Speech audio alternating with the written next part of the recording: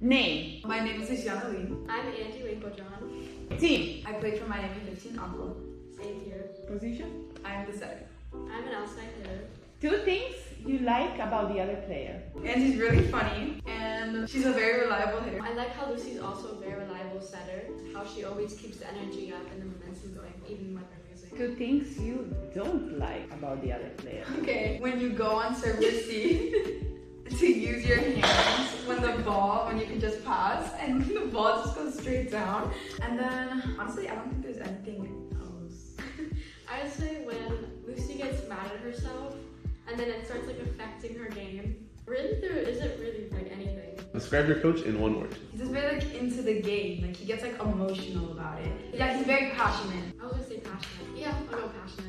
Most exciting moment of the season. When we won Gasparilla tournament, we made it into the gold bracket and we worked really, really hard and got first place. Exactly what I was gonna say.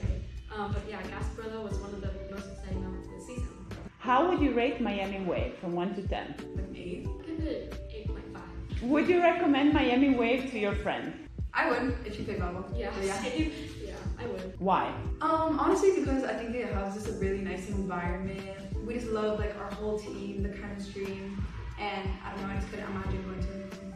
For me, I would say that people are super welcoming, and so if I brought my friend, they would feel super welcomed. They would honestly just enjoy being here. Are you ready for these upcoming tryouts?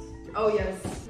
Ready to Give three trial tips for prospective Miami Wave players. Hustle.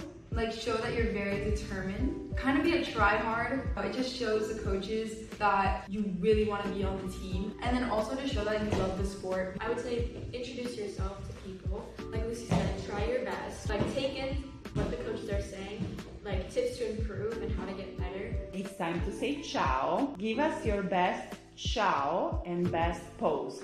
Ciao.